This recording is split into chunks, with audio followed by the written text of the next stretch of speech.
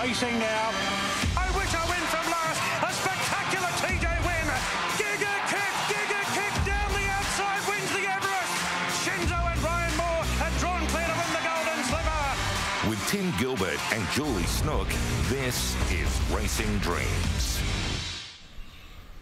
Oh, hello and welcome to Racing Dreams, day one of the championship. What rain? What rain? we have had the greatest deluge of all time the last few days in Sydney. Hundreds of millimetres of rain. We'll confirm that completely with Michael Wood, Jules, shortly, the track manager here at Randwick. But we're on. We are on. Good morning, Timmy. Good morning to you at home. Day one of the championships. I tell you what, 24 hours ago, we weren't sure what this scenario was going to be, how this track was going to look. We certainly didn't expect this sunshine because right along the east coast of Australia, Timmy, it has been absolutely torrential. This vision that you're looking at now is our crew coming into Royal Randwick early this morning, a stark contrast to what we're looking at now, Tim. Oh, absolutely. And I was driving into Sky News around that five o'clock mark this morning uh, from my home in the northwest, and the roads uh, dodging trees that were down. It has been an extraordinary few hours. Um, Mother Nature rearing her teeth, and uh, now uh, beautiful blue sky. We're not expecting another drop of rain throughout the course of the day. And uh, look, we'll be racing on a heavy track but uh, we'll be racing, and uh, it's an extraordinary day of racing when you think of it. Doncaster, Derby, um, we've got uh, Storm Boy. We do. We have Storm Boy, four Group 1s today, and of course the Country Championships final as well. We've got a huge show coming up for you today, but let's check in with what has probably been the busiest 24 hours for Michael Wood from the ATC and his team. Uh, good morning to you, Michael. Talk us through this last 24 hour period. Good morning, guys. Uh, where do I start? Um, pretty pretty wet afternoon yesterday, and then obviously all that rainfall overnight. Uh, we collected 173.3 millimetres since 9 a.m. yesterday. Uh, took us to 232, basically in in 48 hours. So. Um, yeah, we've had a, our fair share of rain. It was it was pretty pretty hairy this morning. Um, you know, we had a storm right on on five o'clock, uh, which dropped 30 mils in about 20 minutes. Um, and that led to a little bit of uh, a bit of water across the track over at the thousand metre point. Um, that subsided really quickly, and, and, that's probably what what held things up, I guess, um, just for the progression of the meeting. But that moved away really quickly, and you know we're we're going around in a heavy ten, but um, yeah, very happy.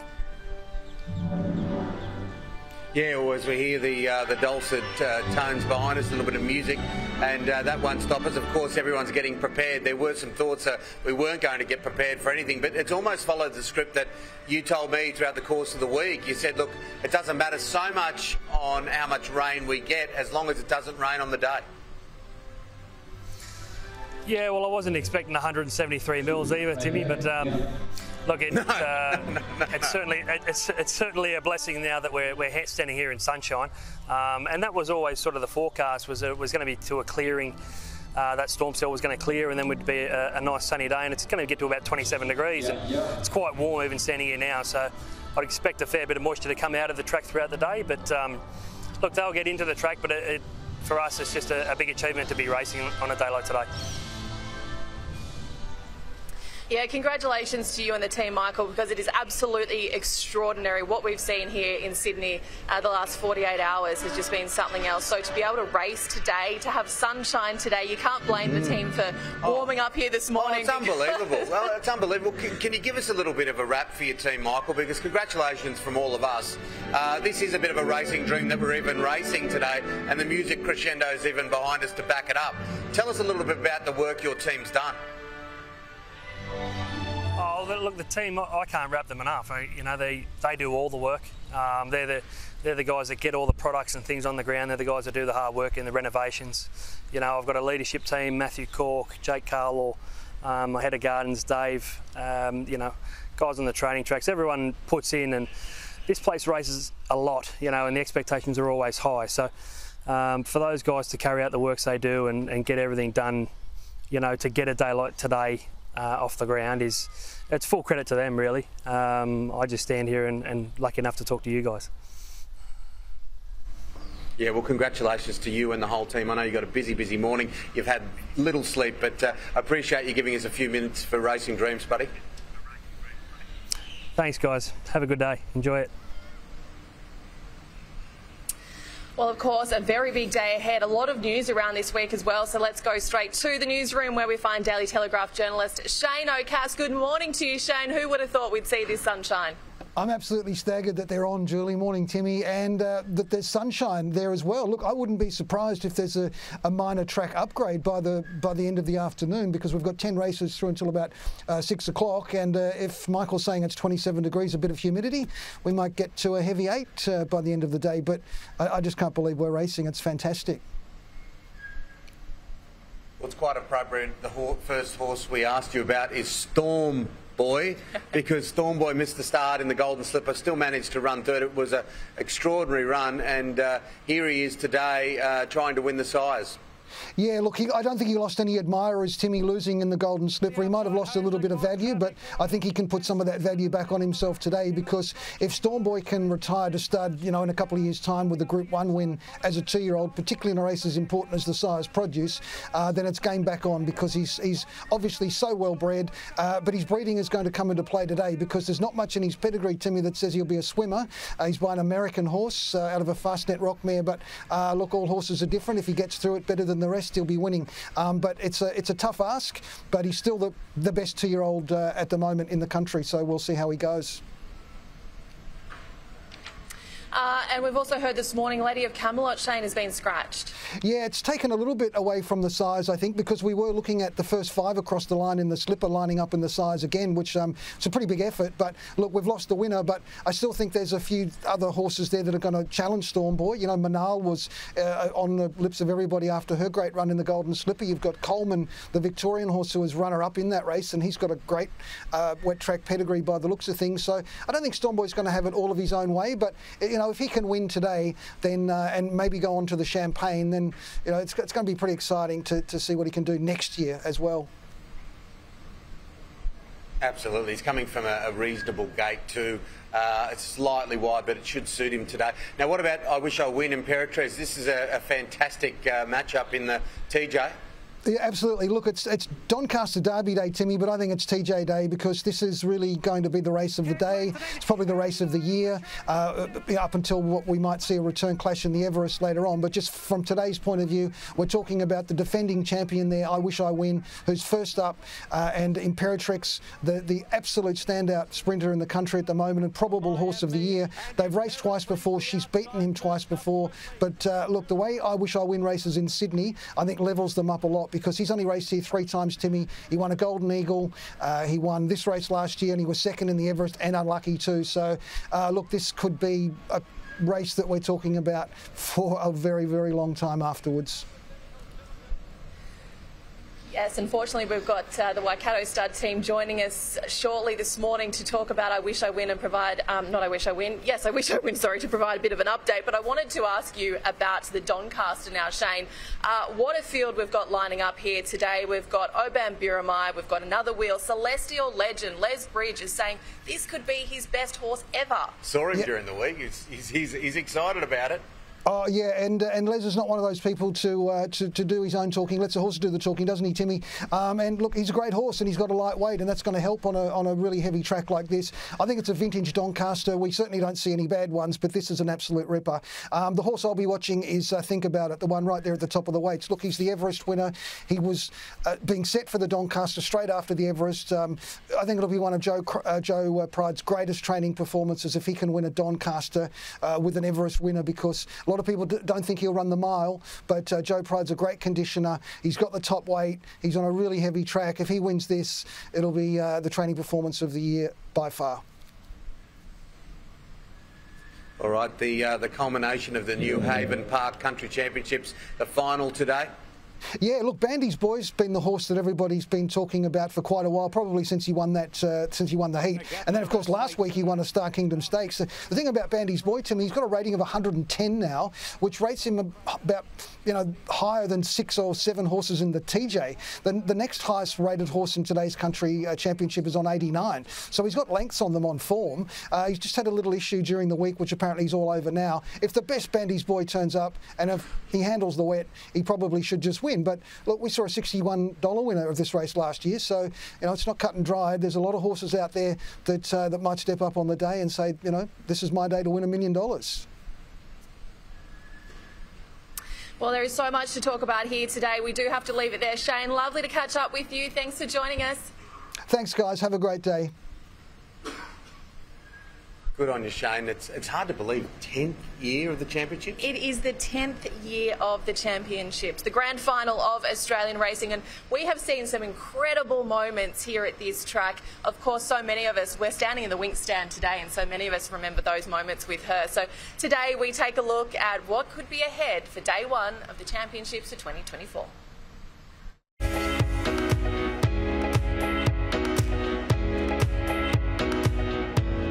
To me, Doncaster Derby Day is a special day. Everything that goes with it huge crowds, the buzz, the world's best jockeys and trainers competing here in Sydney, elite racehorses, fantastic racing. That's what it's all about producing racehorses, and that's what we all get a great thrill out of. To get the opportunity to come to Sydney and to race your country trained horse on the big stage is huge for people. 10 years of the championships, the grand finals of Australian racing, and now the dawn of a new decade. From a stakes race at Rosehill Gardens seven days ago to firm favourite in the Country Championships final. It's been a bit of a curse for us this race, so we just have to try and hold everything together. Can Bandy's boy break the hoodoo for Goulburn's Danny Williams in the million dollar concept of bringing country racing to the heart of Sydney? The Group 1 action starts with the Inglis Sires and the battle of a $50 million colt out for redemption over his stablemate, Lady of Camelot. Storm Boy's got the run on the inside. Coleman wide out with Lady of Camelot. It's Coleman, Lady of Camelot. Coleman ahead in front to Lady of Camelot. Coleman, Lady of Camelot. The lady dives and Lady of Camelot. The TJ Smith is synonymous with speed and stunning stories.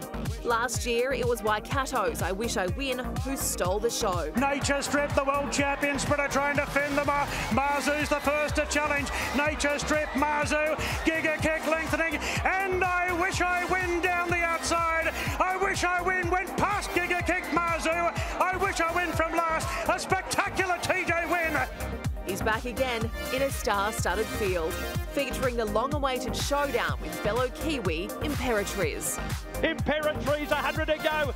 Johnny Rocker bravely giving her a race, but it's the Kiwi Wonder. 10 Group 1. 2024 marks the 159th running of the Doncaster Mile, a capacity field attracting nine Group 1 winners and an Everest champ.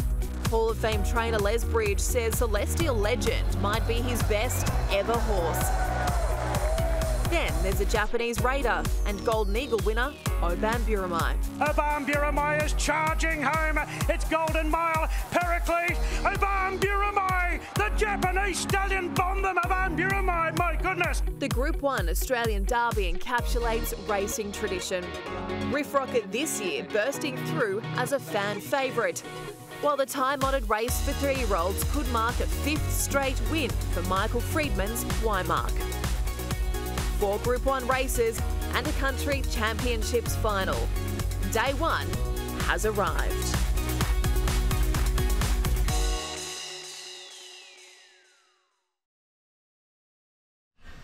Well, this very day last year, it was a fantastic win by I Wish I Win in the TJ Smith.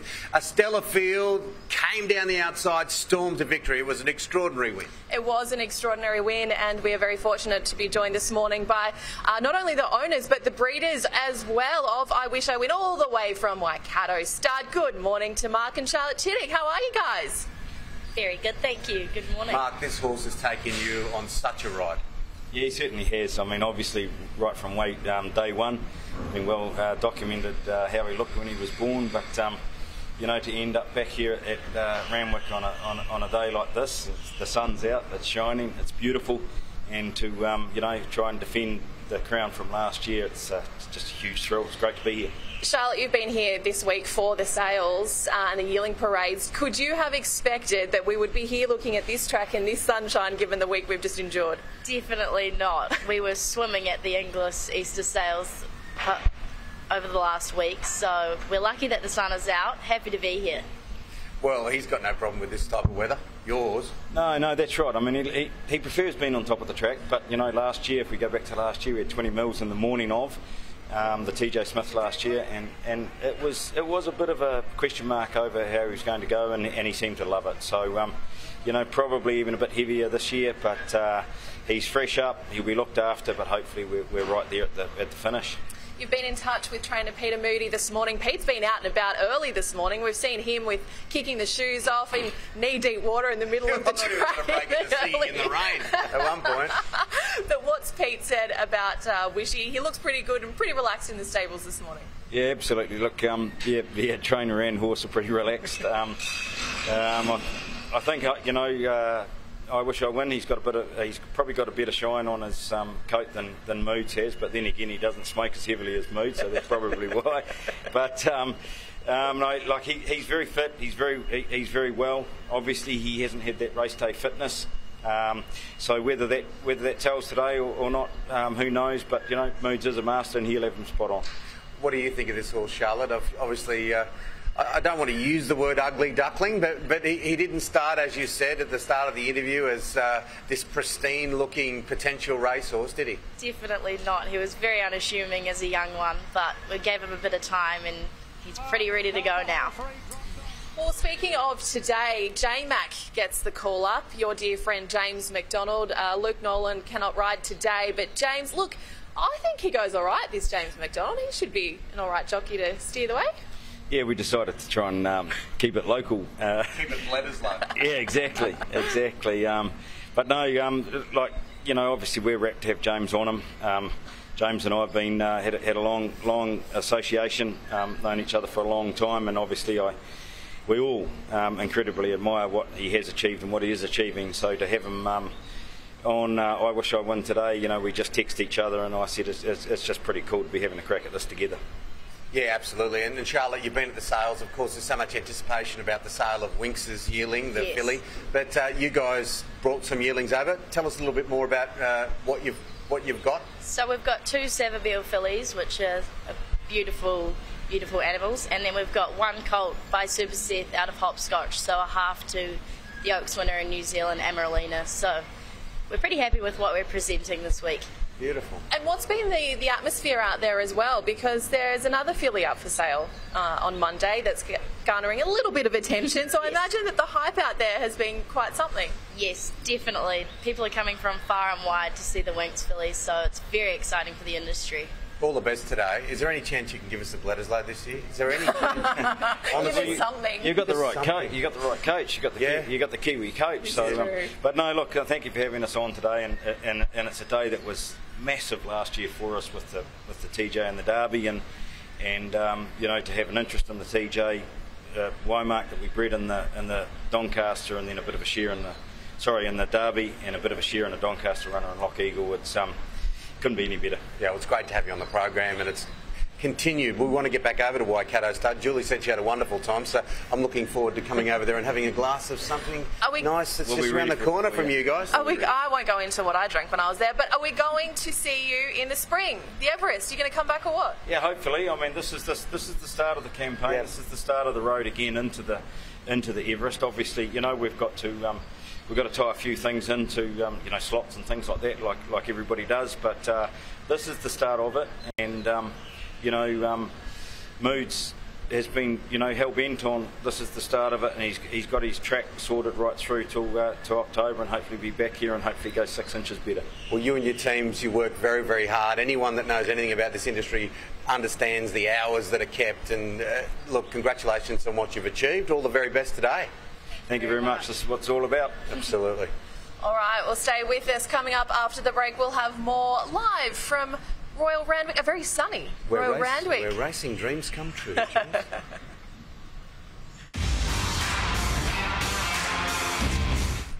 Oh, it's wonderful to have your company this Saturday morning, Racing Dreams. And uh, look, looking behind us, you wouldn't have thought that had been a drop of rain.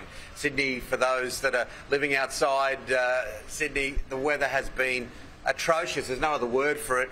We heard from Michael Wood in the last few days nearly 250 mils, and it's now looking pretty as a picture, Jill. Yeah, incredible effort by the Australian Turf Club team here today because I tell you what, the vision we were looking at of this morning alone, let alone what it has been like along the East Coast for the last two days, has just been extraordinary. So a heavy 10 today, the sun is out, there is some warmth. I, I'm feeling it on my back. so it is a good sign for a huge day of racing ahead for Group 1s and, of course, a country championships final as well. But a very, very important competition on our show is our tipping comp. It's, it's important, but very we don't take it very seriously. It's important, but not that serious.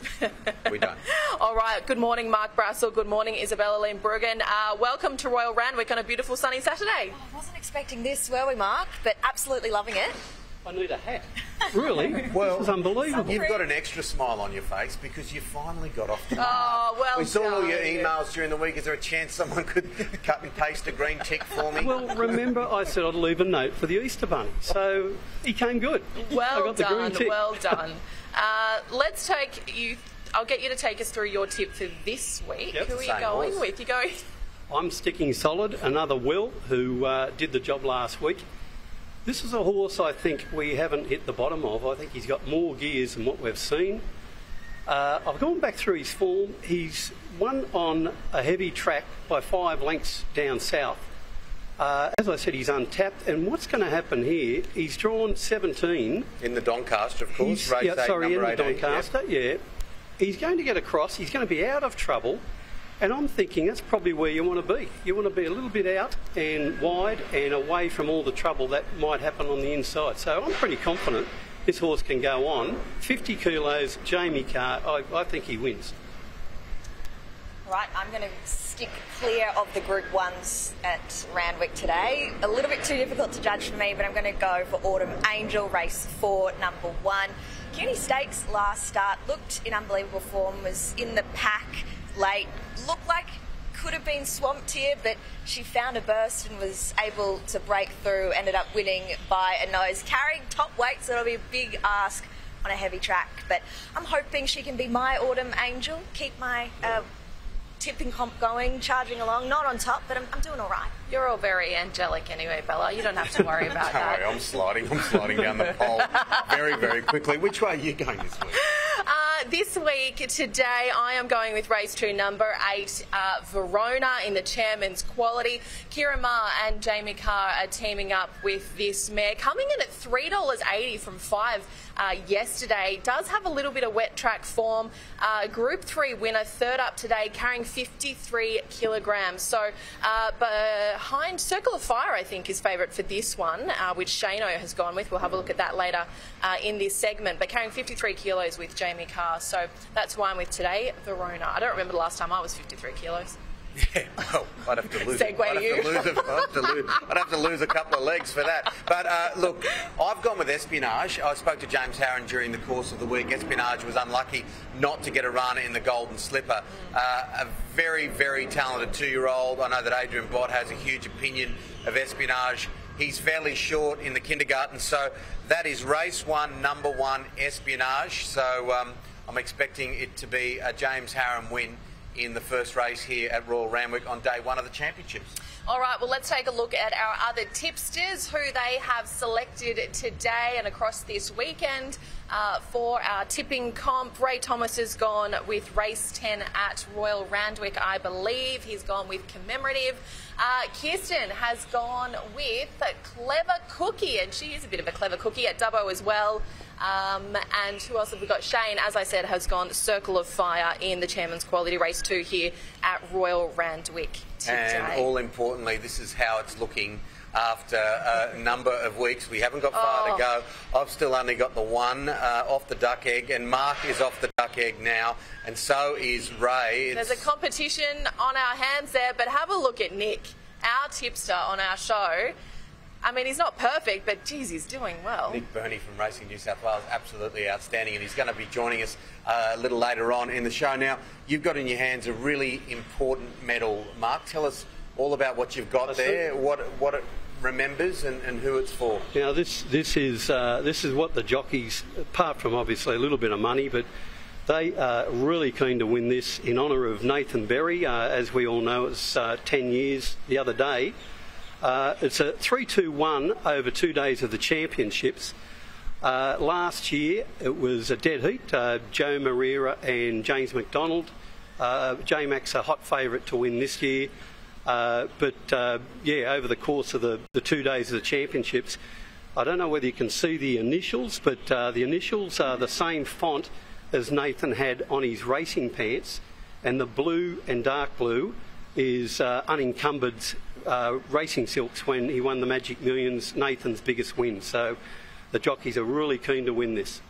Nathan rode 351 winners during his career.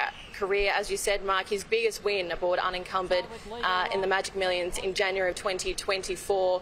It's been uh, a really poignant week. We've heard from Tommy Berry. He's been speaking throughout the week, paying tribute to his late brother, and and what a remarkable chapter, I suppose, this has been for the Berry family uh, and for the racing community as well. Yeah, absolutely. And as I pointed out, uh, that jockeys room, they're so keen to win this, and uh, you know, I, I, just can't wait for it. It's, uh, as I said, it's the three-two-one, and uh, uh, I think Joe and J Mac finished on 10 points last year. It's a count back how many winners they ride. So they both actually rode two winners, so it was a tie. So uh, and fittingly, the first time it went round, this is the 11th year, Tommy Berry dead heated. So God bless him. Yeah, absolutely. And Huey Bowman, of course, won four of those medals. It's, uh, it's much sought after in the memory of, a wonderful man lost way too young. Uh, Nathan Berry, of course, the twin brother of Tommy Berry. Mark and Isabella, enjoy day one of the championships as we change pace and uh, hope you have a winning day. And Isabella, congratulations getting married to the wonderful Hugo next, next Saturday. Week. Unfortunately, it clashes with day two of the championships, oh, though. So, unfortunately, I'll be missing that. But yes, an important day wedding. Yeah, so good luck. You. We'll get your bets on early. All right, stay with us. Coming up after this, we'll have more live from Royal Randwick for day one of the championships. Can you believe it? The sun is shining. The track is looking sensational. We've got more coming up after the break.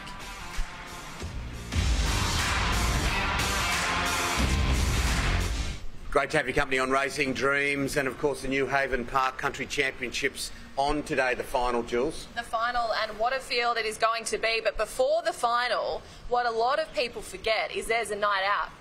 And all the contenders always find out the hard way that the, there is a night out before day one. It's at the, the Doncaster Hotel, which is just here, and the Kellys put on quite a show. And Danny Williams, the trainer of Bandy's Boy, the favourite, was there. And we are joined by Danny and two of the very happy owners of Bandy's Boy, of course, Margot and Jack Coffey. How are we, guys? Yeah, good, thank you. Well, yeah. thank you. Yeah, oh, tell the truth. You're all feeling a bit secondhand, aren't you? Yeah, I'm yeah. feeling a bit seedy. I think uh, I think we all are. Yeah, definitely. Great night. How is this horse of yours, Bandy's Boy? Um, obviously, we saw on social media this week. A couple of little hiccups, bit of a vet check yesterday. What's the latest with him? Look, everything's fine. Yes, he was pretty sore on Tuesday when Racing New South Wales stewards and, and, vets came down to check him, but it was actually a good, a blessing that it actually happened because we'd done, done very little with the horse and, and I didn't actually see him lame. So when they trotted him up, we we identified the issue and, and, and acted on it very quickly and we've done uh, we've put a lot of procedures in place in the last uh, four days since then and and uh, he's fine this morning and, and, and great yesterday as well when he got better. Jack, this is a great family story. Your, your grandfather bred the horse? Yeah, he did actually. Um, he bred it, and you know he's lived in the country his whole life, and to have it uh, in the country championship finals, he, he would have been very proud of the horse and everything that's done he had a break off the back of that heat win in Moruya, Danny. He comes out and he wins a Group 3 at Rosehill last week. I think it was Greg Radley who said in the coverage, um, not a bad warm up in the lead up to a country championships final. Yeah. After the uh, qualifier, um, all my runners went out to the paddock for just short of a week, and uh, look, he, he, came back, and most probably it was a blessing. He, he'd improved, taken that next level, and we penciled in Rose Hill um, to run the week before. We weren't certain that uh, the result was going to be the same, but uh, we, we just penciled in a similar um, program to what we did going into the uh, qualifier where he ran seven days out. I rang the handicapper and, and asked for a bit of assistance of, you know, what he felt and uh, whether we were sort of heading in the right direction, if there were any other races. And we sort of both came to the conclusion that the Star Kingdom the week before was about the only race he, he was best suited in. And uh, my biggest concern was not getting a run in the race. And the handicapper said, look, in the last five years, we haven't had a full field. Lo and behold, there was a full field of 16, a very star-studded lot. So mm. seeing win, it was just uh, an amazing effort by the horse. And he's just gone from that one level to the next. Margot, your dad was a committee member at Forbes, Ben Hall Country for, yes. for 30 years. Uh, yes. What does this whole story mean to you and the family? Oh, it's very special, and yeah, we're grateful that we've got Bandy's boy. It feels like we still have that little connection with Dad now that he's not with us anymore. It's like he's left us this little legacy, and yeah, it's very special. And the horse was very special to Dad. He spoke about him all the time, was really excited, and at what you know the future held for him. Um, yeah, obviously last week we made the trip down for Rose Hill, and even though he wasn't expected to do anything when he won, that was was a very exciting and special moment. Yeah, and we were obviously thinking, wow, if Dad had been here, he would have like he thought it had potential, but yeah, I'm not sure whether he would have been aware that was it could do that. I'm not sure. Yeah, but that's yeah, it's very special, and we're just excited to be here and the whole country championships and having grown up in the country and dad spent his whole life in the country, yeah, it's quite meaningful. Yeah, he served over 30 years as a committee member at the Forbes Jockey Club as such a prominent part of that community. Um, Danny, I've got to ask you, how does it feel here today, day one of the championships? You've got the favourite for the country championships final. What would a, a win with a family like this, a horse like this, mean to you? Well, firstly, um, you know, being from the country and, and um, having an opportunity to race in, in, in, races like this is just absolutely fantastic. And, uh, you know, you don't get very many chances. They, it's a, it's a, little bit like the Golden Slipper. They only run a certain number of horses. You've got to get into it. There's a lot of work, you know, leading into this to get to this point. And, and you know, it's, it's something that we have to program long, long before. So to actually get here and even have two runners uh, it's just mind blowing, and, and uh, obviously for a lot of trainers, it, it is life changing because we're racing the big stage for a million dollars, and it would be really special to to get a winner for John and John's family. I mean, you know, John's taken what 30 years to get a decent horse, and unfortunately can't see it, and. Uh, you know, he's been looking down on us, and as as uh, Margot said, um, you know, they they they was sort of um, praying to the, the skies that uh, John would bring them luck. And Margot's got a bit of a story about um, both sisters at, uh, at, at Moruya. Um, if you'd like to ask her about that, um, it's a bit of a special and touching moment, actually. Yeah, well, we might finish with that because um, time is always the killer in TV. Tell us the story, Margot. Oh, my older sister lives in the, she resides in the UK and she made obviously the trip back for dad's service and his service was on the Friday before the Moruya qualifier on the Sunday. And so we made the trek across from Forbes Cowra and, um, but she, dad's always had a love and interest in racehorses, but my older sister sort of was a career woman and never really followed. Yeah, she didn't share the same passion or interest, but anyway, she came across. But it was quite emotional a day for her. She'd flown in and it had been a busy week, and it all sort of hit her as Bandy Boy was going into the barriers, and yeah, she sobbed the whole the whole race around. My son and husband were going, Jackie, the race is on, like, and then when he was winning, he's winning, he's winning. But anyway, and then anyway, and last week she put a um, she went back to the UK and opened up a betting account, which she's never had one bet in her whole life, and put said, "Oh, I've seen Bandy's boys racing at Rose Hill, and I think it opened at 51 or so, or maybe it was a bit different in the UK." She said, "So I've put like 50 quid each way on it," and my husband was like. Oh God, he said that's a real like that's a big race. It's, she didn't have any idea. Anyway, he ended up winning, and she won about five thousand pounds. Tersh out, tersh out.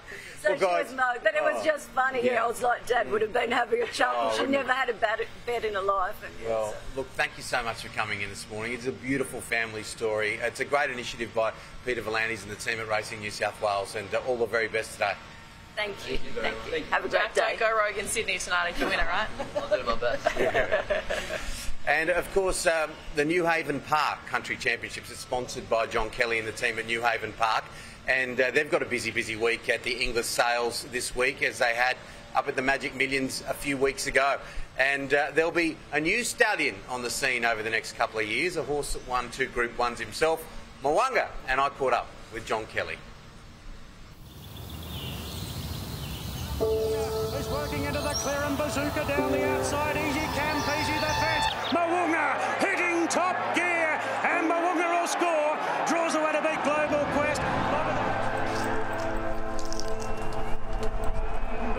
Mawunga, very elegant. She'll really have to lift as Mawunga put the head in front. Very elegant's trying to fight back. There's a swarm coming late, cascading right down the outside, but Mawunga's won it. Mawunga, I think's beaten very elegant.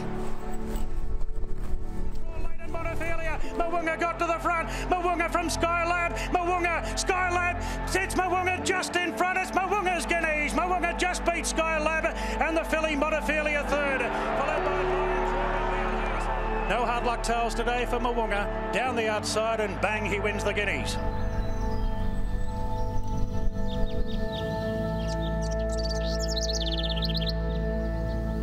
John Kelly, nearly 120 years old, Newhaven Park. Uh, this guy here, big part of the future, particularly the immediate future, Mawunga.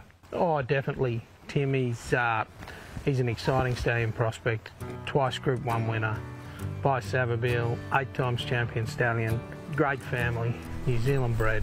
Total outcross for all our Danehill mares. You know, you don't get any better. He's got to be one of the best Savabeels, doesn't he? He's got to be one of the best. I know there's so many. Oh, he, he's arguably his best colt. You know, like uh, he's got a lot of obviously cool as a Beals, a champion two-year-old, embellish. He's had a lot of good colts, but I think this bloke came to Australia, raced, won two Group Ones in Australia. I think he's, you know, his best son. Absolutely. And you isolated at four, I want to buy this horse. Can you tell us a little bit about that process? You, you, you know, we know Savabeel and he'd won a couple of Group Ones, so there was enough to flick your interest. Oh, to be truthful with you, my uh, my brother Charles, when he won his maiden, he said, "Gee, that'd be a great stallion for us," and that was when he was a two-year-old. Then obviously went off. He was that good with. There's no way we'll be able to afford to buy this horse. And uh, one of our uh, major shareholders rang me up one day and said, "Look, what about Mawunga?" So that gave us the courage, and out we went, and we got us into it together, and we bought him.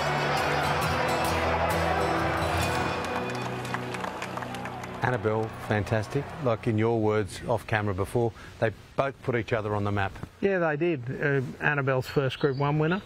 Uh, when she first got training, fantastic effort. She was did a wonderful job with him his career, and uh, after she got him off Chris Waller, she did a great job. Her achievements and she uh, came to Australia six or seven years ago are astonishing. Yeah. I think she's got a big stable and that sort of thing. Amazing. Winx Stakes, amazing, beating horses like Very Elegant and Colding and Think it over. I think it over. And, Yeah. and, and Rosehill Guineas is a real stallion making race. Yeah, look, winning Group Ones, that's what Stallions need to do, and that's what he did. So he won one in the Winx over 1400 metres, and the Rosehill Guineas was a three-year-old. He's just a very good horse, and uh, we are really excited about him starting his stud career at Newhaven this year. How does it make you feel? You know, just months away from seeing him go to start. Obviously, the plan has worked to this point. How, does it make you feel? Oh, look, when you're a stud master, you want stallions. So to have one of his credentials coming to stand at Newhaven, and uh, you know he'll get a lot of support from us and our, his syndicate. It's it's just exciting. That's it, just excited. Yeah, he's pretty relaxed too, isn't he? He's got a great nature. Just having a pick. Yeah. It's not a bad life either, it's just Well, wouldn't you like it? Absolutely.